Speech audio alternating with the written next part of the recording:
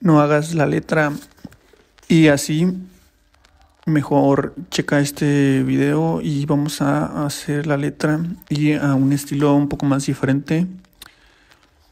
Voy a ir empezando haciendo la, el trazo de afuera. El trazo de afuera lo aventé como si fuera una media luna y ya ese trazo lo hice directamente con, el, con la parte gruesa y ese trazo lo hice como a casi 45 a 45 grados y al final aventé como un piquito hacia acá hacia la hacia el lado contrario ahí también quería lograr ese el mismo efecto que la parte de arriba para darle un estilo diferente y también dije por qué no le pongo el palito de la I aunque es mayúscula, sí, ya sé que es mayúscula, pero de todos modos quería ver qué tal se ve.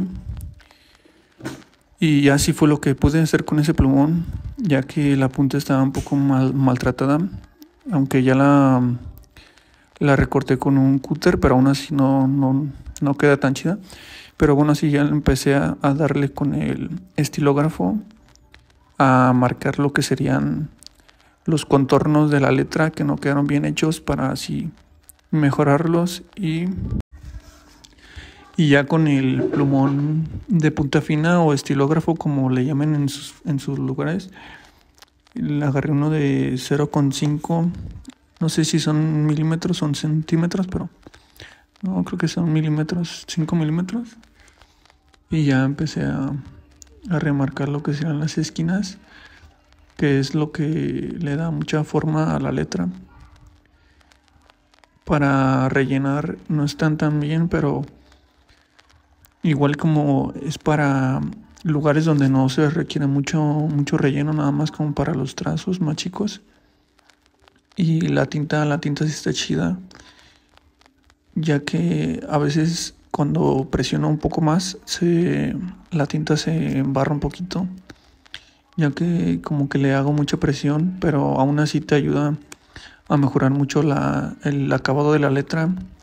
Si no tienes una pluma especial como para hacer lettering o otro tipo de...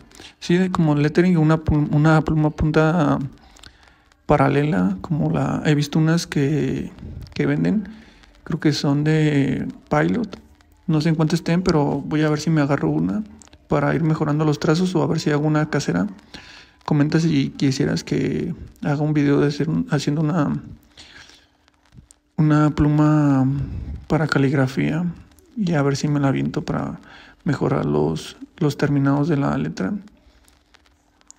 Y también cuando voy haciendo los como las no me acuerdo no sé cómo se le llamarán, pero a las a los piquitos finales de la letra lo que hago yo es que con ese plumón no quedan tan, tan visuales, ya que al momento de llegar a la línea no puedo hacer la línea tan delgada, así que lo que hago es no presionar tanto. Sería como llegar a presionar normal y al último ya sueltas para lograr una línea más fina y que se vea mejor el resultado. Lo hago así para más comodidad, ya que si utilizara uno más pequeño me tardaría más en rellenar. Aún así quedan chidas las letras y así quedó el resultado banda. Dale like y sígueme para más graph. Comenta si te gustó y comparte.